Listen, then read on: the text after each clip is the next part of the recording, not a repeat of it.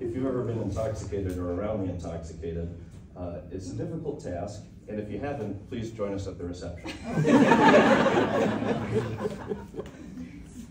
now, that's Tina, that's Tina, and that's Starf.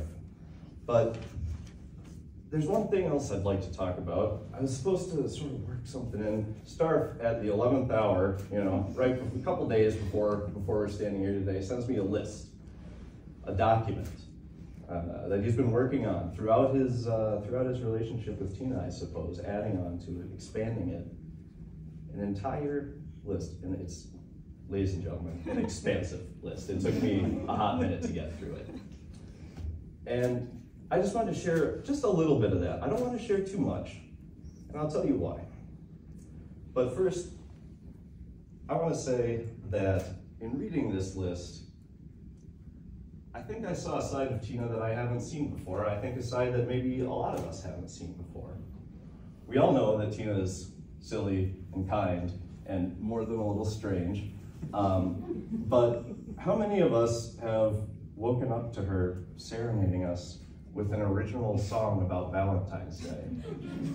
How many of us have walked into a room only for Tina to literally burst into song and dance just because she was happy to see us.